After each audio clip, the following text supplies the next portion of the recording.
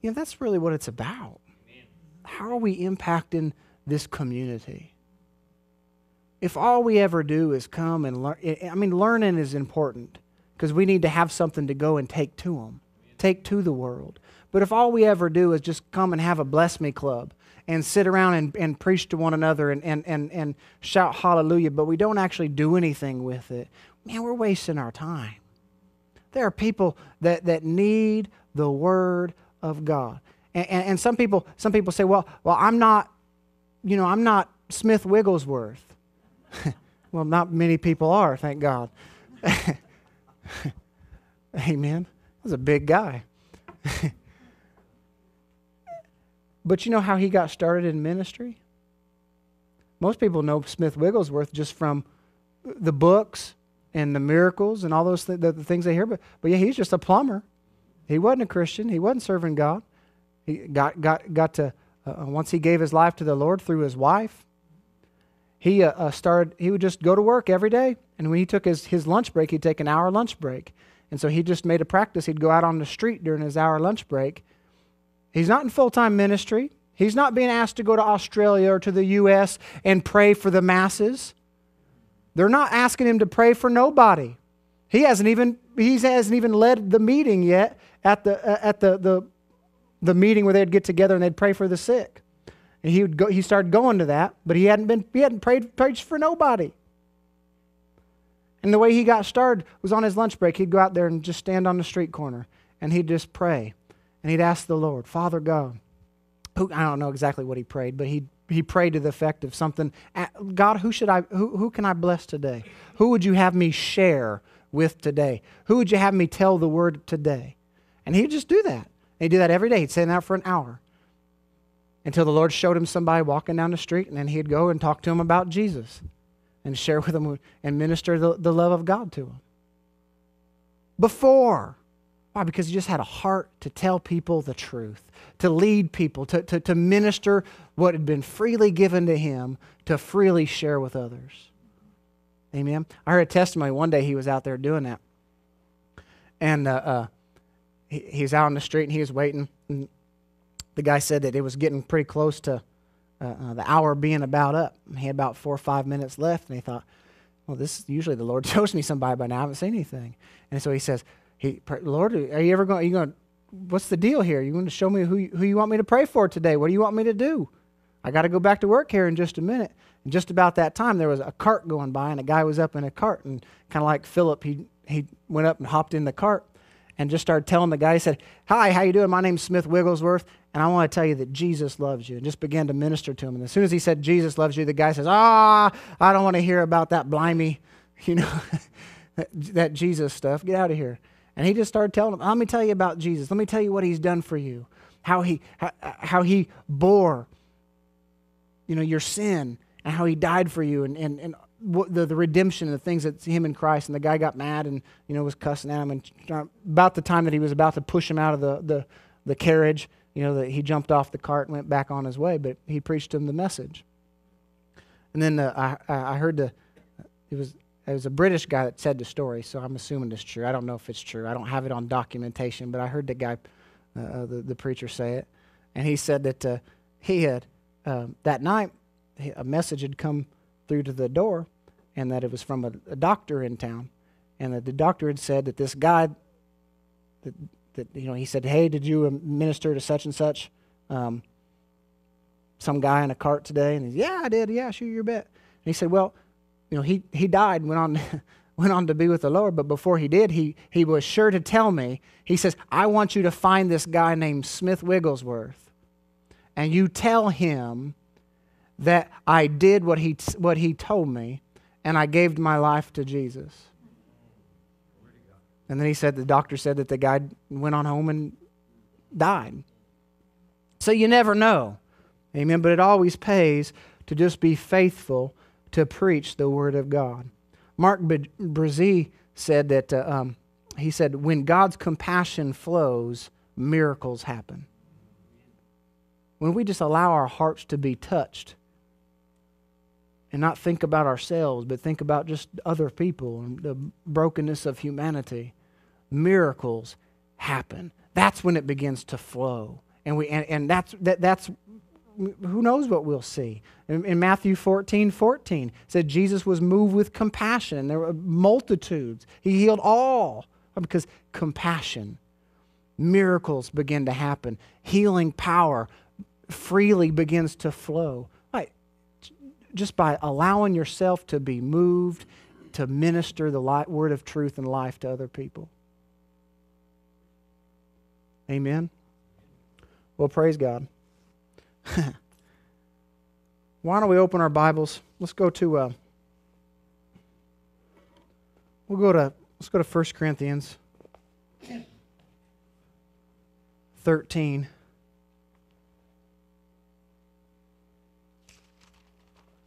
We're going to see more and more and more and more uh, uh, healing, more testimonies of what God's done.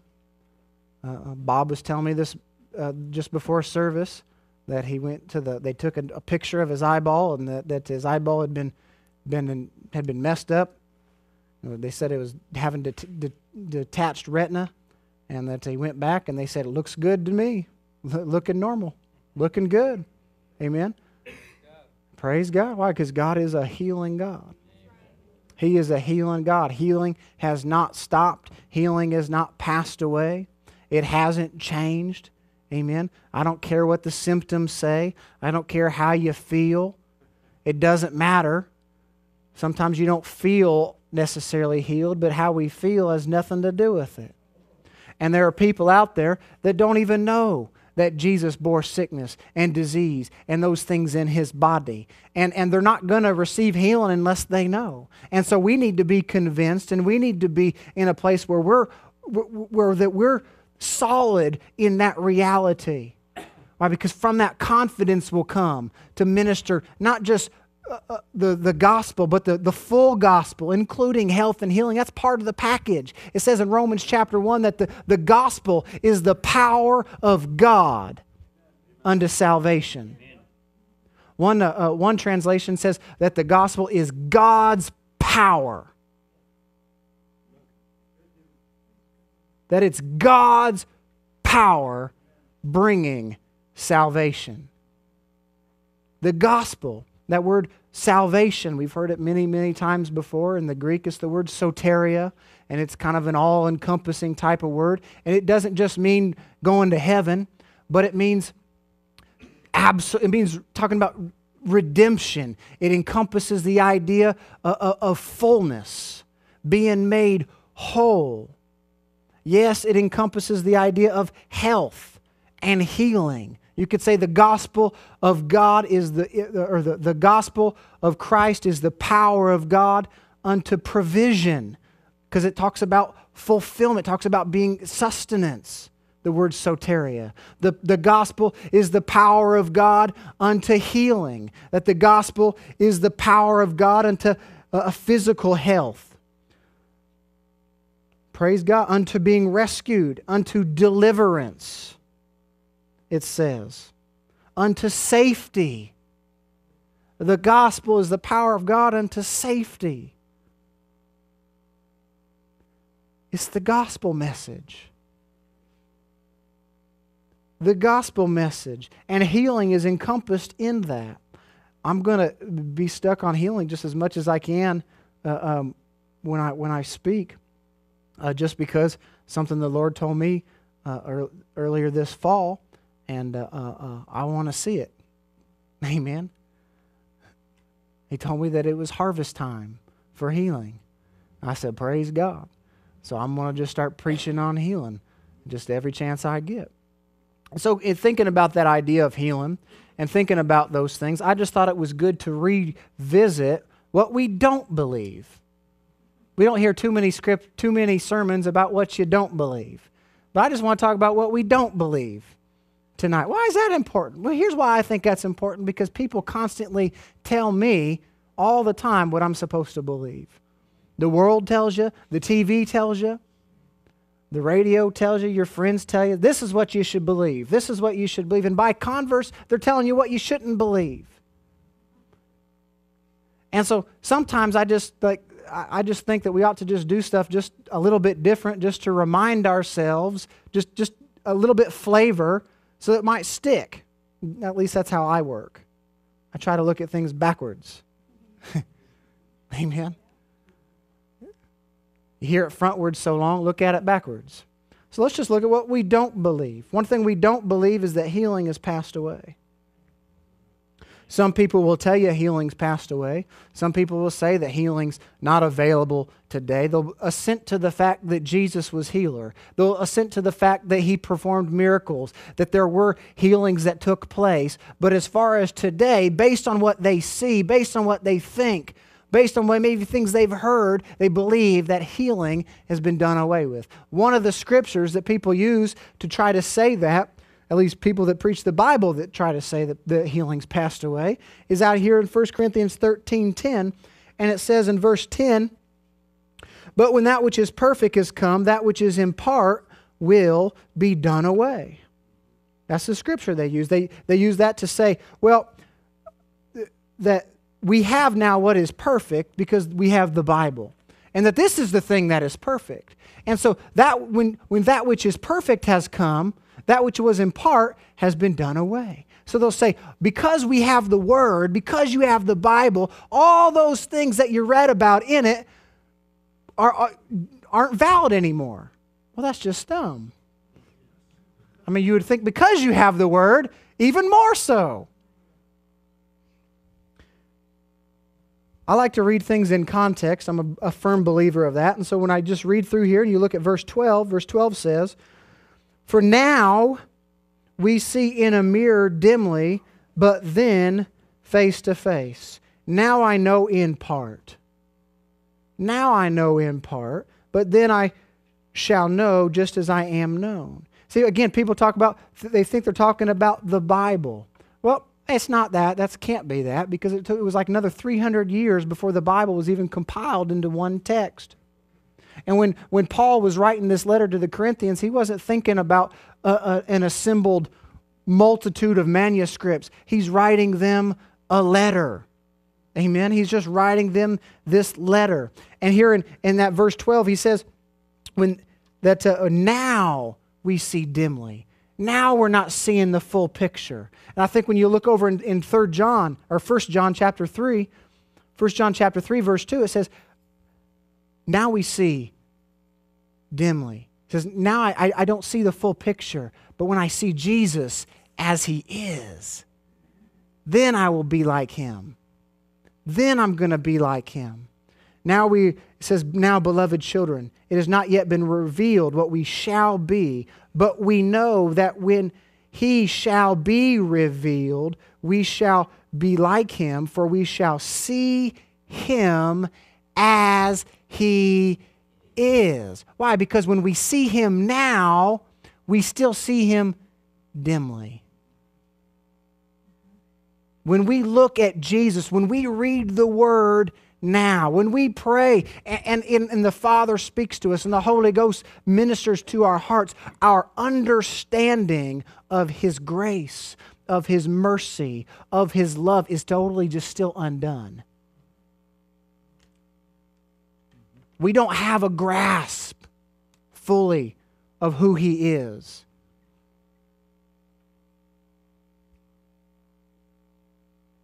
Well, because I'm still seeing dimly.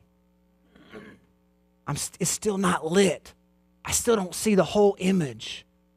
I still don't get, I get a glimpse, I get a picture, I get an image, but it's not crystal clear just yet.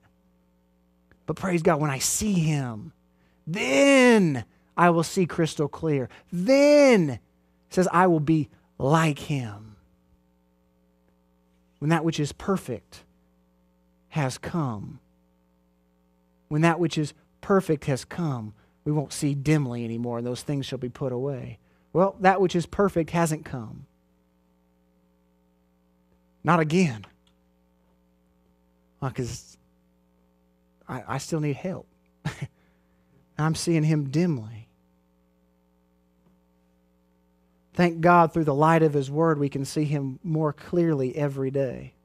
We can learn and grow up more like Him. But healing hasn't been done away. That's the only scripture that people try to use. I mean, I guess they might try to use a couple others. The biggest thing they try to use is experience.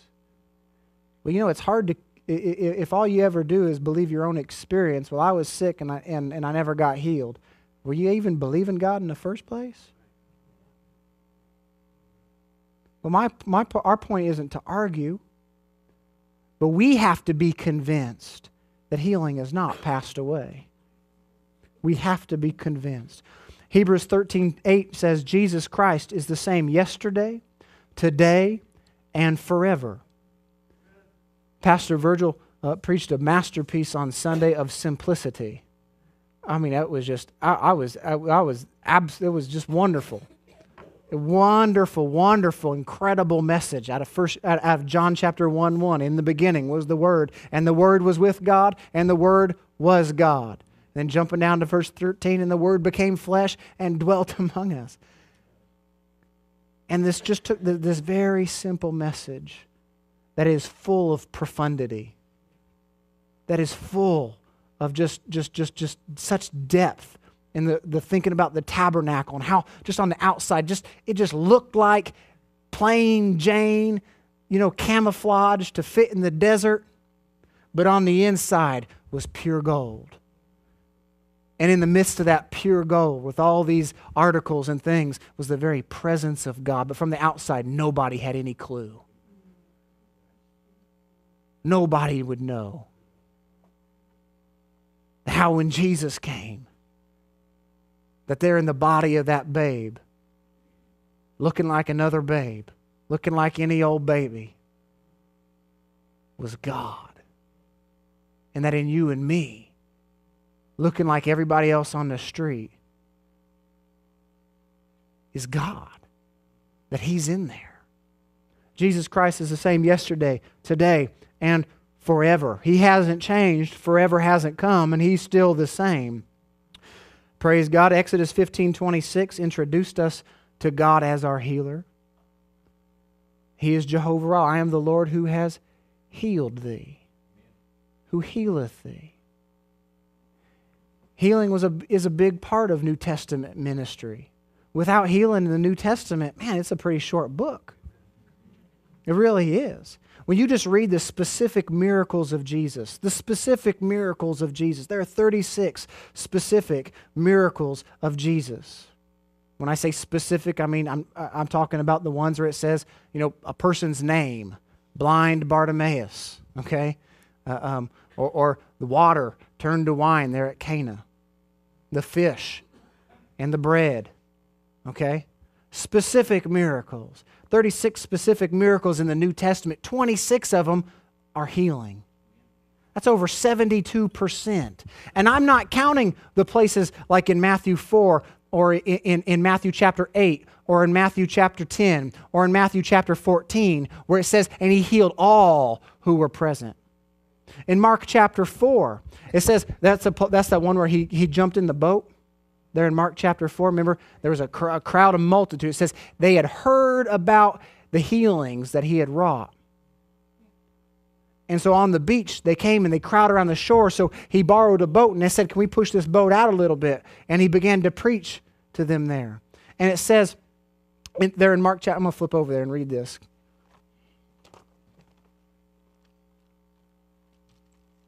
Mark chapter 4.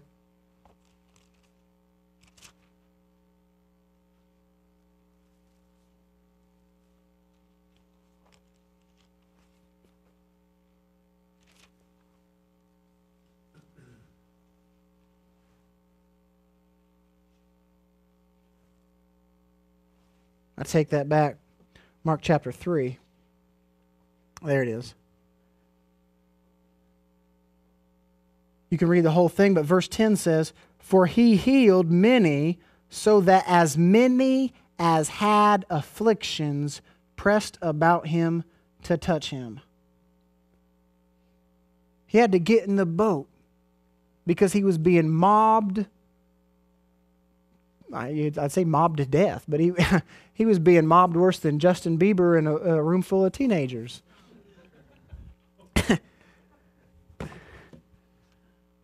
They had heard about those healings and they're pressing in. He just been, he says they had seen the miracles, they'd heard about those healings, and now we're, we got to get some. We're going to get some. That same Jesus, the same yesterday, today, and forever. Healing hasn't passed away.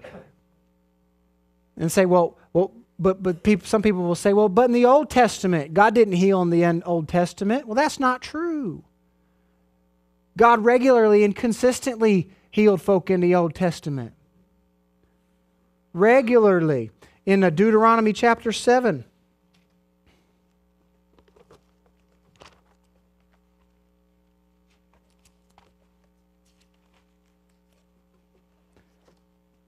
I like this one. In Deuteronomy chapter 7, it talks about because of covenant. The Lord your God will keep with you the covenant. That's verse 12.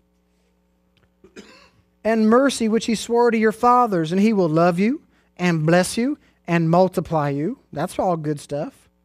He will bless the fruit of your womb and the fruit of your land, your grain and your new wine and your oil, the increase of your cattle and the offspring of your flock, and the land which he swore to your fathers to give you. He shall bless be above all peoples. So far, he said this that because of covenant, he loves you, he blesses you, he increases you. He said he'd bless your kids. It's in there. He said he'd bless your business. He said he'd bless your possessions. He'll increase your investments. And then verse 15 says, And the Lord will take away from you all sickness. All sickness. Why? Because of covenant, he said. Thank you, Lord. Hebrews tells us we have a much better covenant. A better covenant on better promises. So if all those things were available through covenant in the Old, in the Old Testament, then under the New, even much more. Even much more. We saw where uh, uh, in Exodus 23, he, there's healing there. Psalm 107 20. Psalm 103 3, not forgetting our benefits, but He forgives all of our iniquities. Over and over and over and over again. Psalm 30, I cried out to you and you healed me. Amen.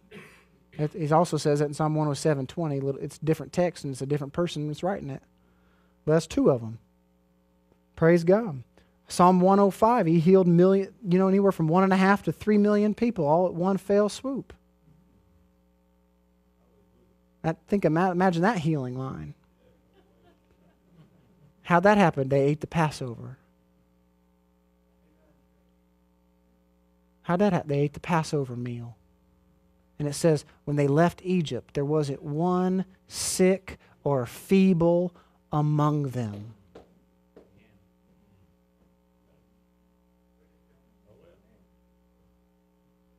Jesus Christ, the one who brought God out where we could see him, where we could get the flavor for who God is, it says in Hebrews chapter 1.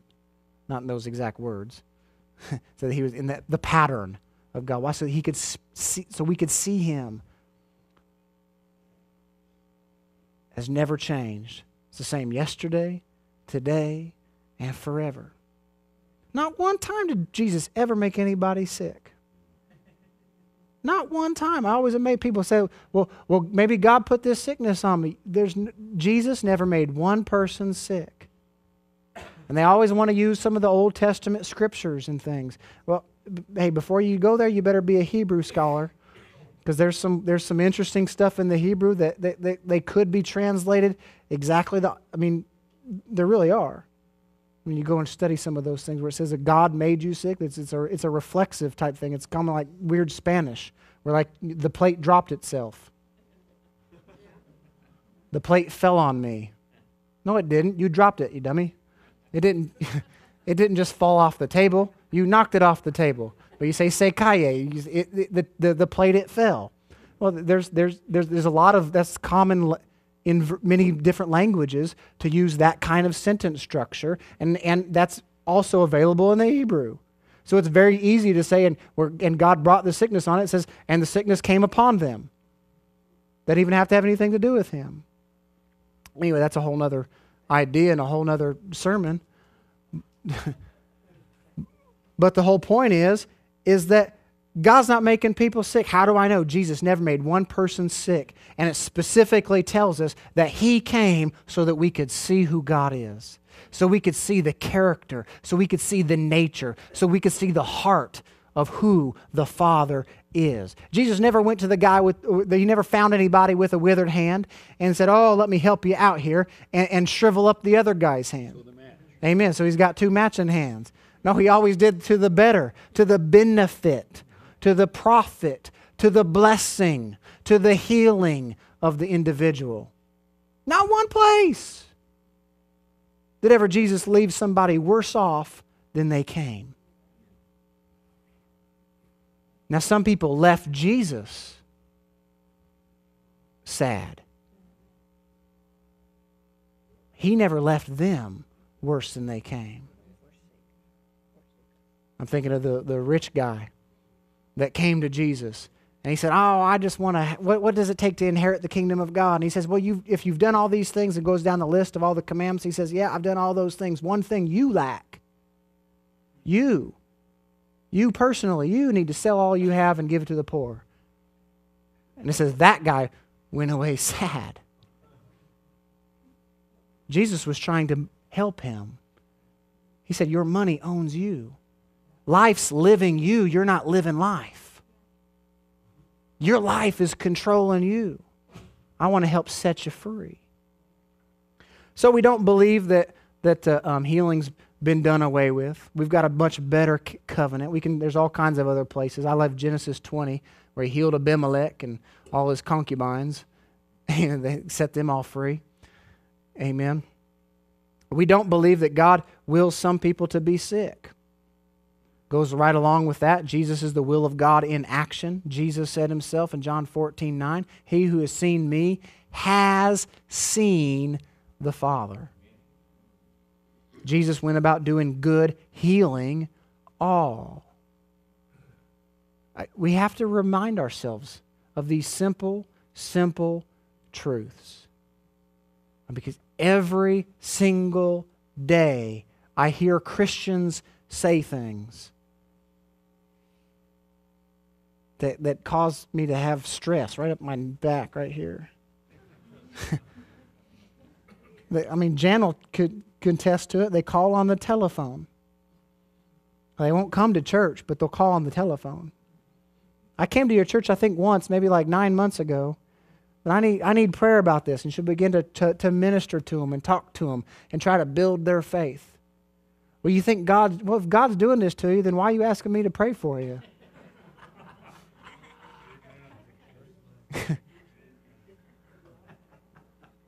I mean, I, I don't, I want to, if you really think God's doing this, then I don't want any part talking to you. I'm going to stay away from you. oh, yeah, I might, is it contagious? Well, we don't believe that, that God wills people to be sick. But if you're not careful, you will uh, hear those little seeds and those little things that people begin to say. And I don't mean that you need to just jump down their throat. That's not what I'm saying. I'm trying to condone. I'm not saying that at all because there needs to be a place of compassion for the individual and the circumstance of where they're at, the understanding of where they're at, because you want to come alongside and begin to try to help walk with them to a place where they can see the truth and they can see the real reality. Why? Because their eyes are dim. And your eyes might be dim too, but you got a little bit better vision when it comes to Jesus in the healing department. So, what do we want? We want to help them to move over closer into that light where they can see the reality of who He is better so they can receive the blessings and the promises that He has for them, including health and their healing.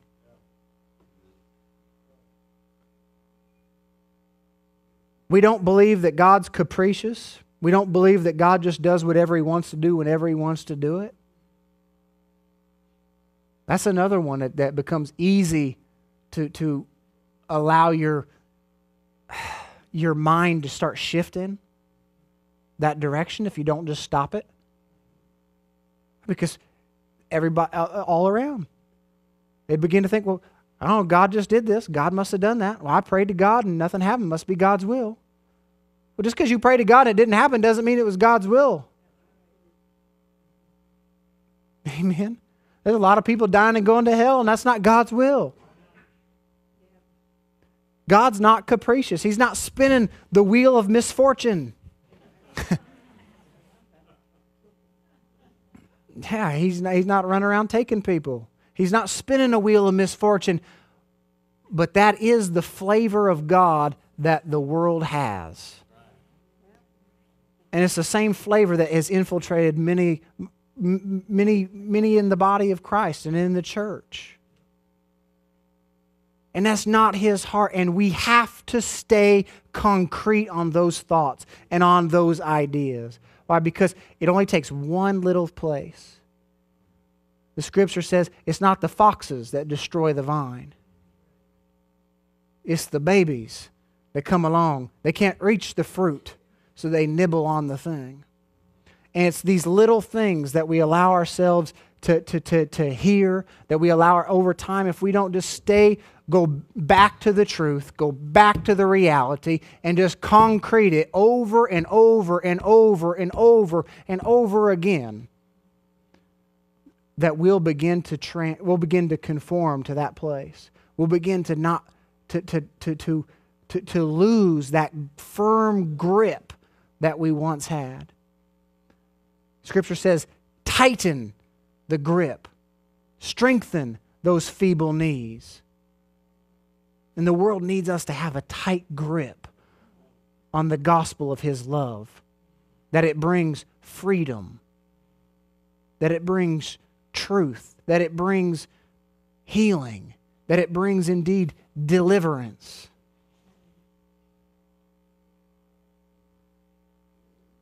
Amen we were out in the park on Sunday, and I was, I was walking down the line. I was just kind of walking down the thing, talking to some folk.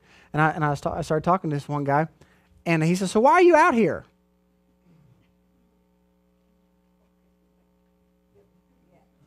And I had that kind of that thought for a minute. I said, Well, there's a lot of responses I could have here. Oh, that's a pretty good question. I said, Look, here's the bottom line I said, I want you to know the love of God. I say, you see all those people? I, I mean, they're here for you, but they're here because they love Jesus and they want you to know him. That's why they're here. That's why. Not because we love Jesus. And everybody ought to know. So we don't believe that God is capricious. God's not spinning a wheel of misfortune, He doesn't have that. Some people think that whatever the, that, that if it happens, that must be the will of, the will of God. And that, that's just obvious. I talk to people all the time. Well, that just must be God's will that He shut this door. How do you know your mouth didn't shut that door? hmm. Anybody ever lost an opportunity because you said something dumb?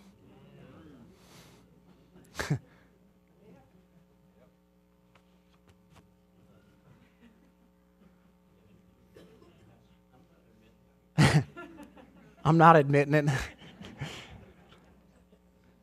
God, God doesn't just heal some and make others sick. That idea is sick. That's not the nature of our loving Father. He's got nothing but good, nothing but, but love in, in still for anybody and all that will come to him. And he sent Jesus to prove it and to provide for it and to make a way. We don't believe that healing is just for the spirit of man. We believe absolutely in physical healing. Why is this so important? I'm telling you, you will back off. The last time that you saw your neighbor and they were limping out to their car, and you talked to them, and you had that thing on the inside that just said, maybe I should ask them if I can pray for them, and you didn't. We have to honest be, have to, we have to be honest with ourselves. What was that about? I remember a number of months ago I was in a homeowners association meeting and the president of our homeowners association board I joined the board.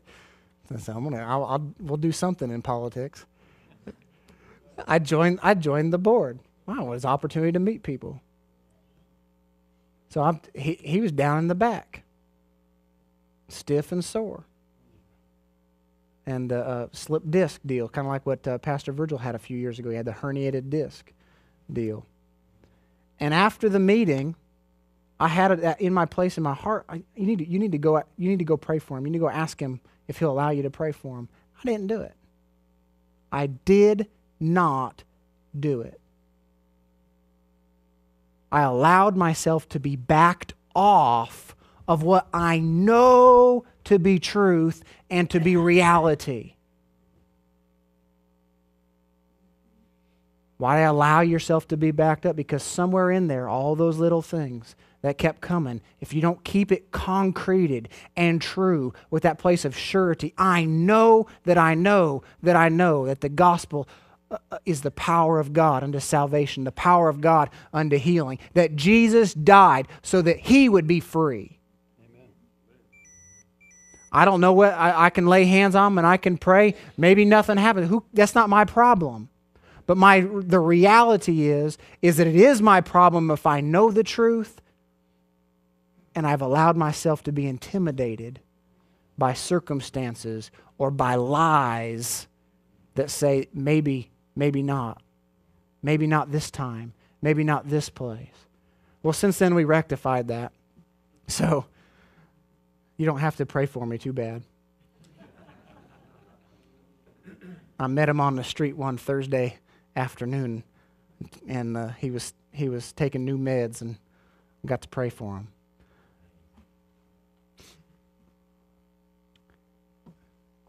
There's a lot of other things we don't believe. We don't believe that healing's just for the millennium. We don't believe that God uses diseases and sicknesses to teach us stuff.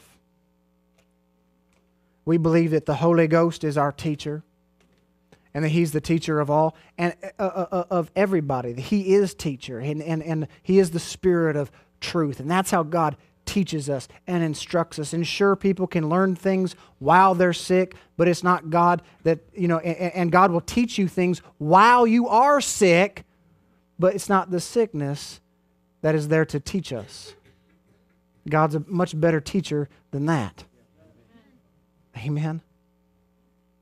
There's a lot of things we, we, we uh, uh um, again, that we need to be reminded of what we don't believe.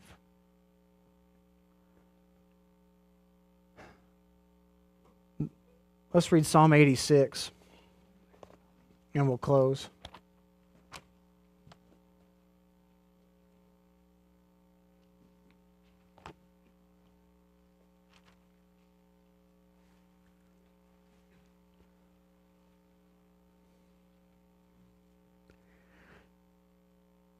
Verse 5 says, For you, Lord, are good and ready. For you, Lord, are good and ready. It says, ready to forgive. But you know, He's ready to heal, He's ready to bless, He's ready to love, He's ready to do whatever. For you, God, are good and you are ready. And you're abundant in mercy to all those who call upon you. And I'm so thankful. It's just as easy as just calling upon Jesus. Just calling upon Jesus, our healer, our Savior, our provider, the lover of our souls, the light of the world. That whatever the circumstance, whatever the situation, it really is just that easy. But it's our job to make sure that we hold firm to that truth right? because it's constantly, constantly getting eroded away. Eroded away every moment of every day, every news call, every person that you talk to. We got to stay firm on that truth and that reality. Be faithful to share the truth. Be faithful to contend and stand for the reality. Amen. and we will see wonderful, wonderful things happen. Praise God. Well, Father, I just come before you right now in the name of Jesus. I thank you, Lord, for your word. I thank you, Lord, for the people of this church. I'm so blessed that we got people willing to go and share, and all the folk that were out in the, uh, uh, the park this last Sunday. I thank you for those who brought cookies to, to go to the jail, and for those who are going to go carol in the jail tomorrow. Why? Because they love you. And I thank you, Father God, that as we do, that we'll stand firm in the truth and the reality of your word. Because your, your word has not passed away. Not one promise, not one jot, not one tittle, not one thing has been done away. We thank you that you are still the God that heals today. You are still the God that delivers today. You are still the God that sets people free today. And I'm willing to be bold enough to just go stand out on the street and say, Who will you have me minister to today? And when you speak to my heart, that I'll step out in faith and in boldness and take the word to those who are lost. Take the word to those who are sick. Take the word to those who don't have and just tell them the truth. And we thank you, Father, for allowing compassion to touch our hearts. In Jesus' name, we thank you for the season of healings coming forth in this area and in this place is harvest time. And we will not back off. We will not be moved, for you are healer and you have not changed. We thank you for it in Jesus' name. Amen. Amen. Thank you. You're dismissed.